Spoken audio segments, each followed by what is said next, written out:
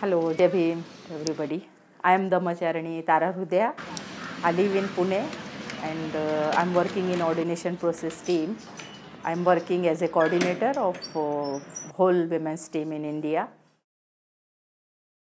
I'm from North India, from Uttar Pradesh, and from very small village.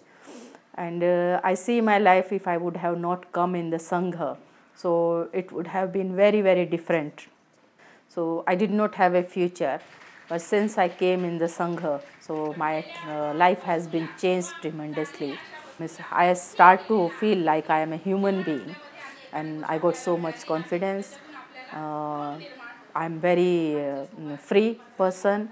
I'm doing my practice, and because I come from that background, so I feel uh, there are thousands of women who are in this situation, and they need help like me. I got the help, and uh, they need some help that they can come in the sangha, and uh, because of that, their life can also be changed and uh, seeing them growing, grow their confidence, and uh, dealing with, with their difficulties, dealing with their husbands and family members, and so much changes are happening in their life. So I'm feeling very happy, inspired, encouraged, and always I'm ready to help women. And I think my work is uh, always encouraging me to do more and more.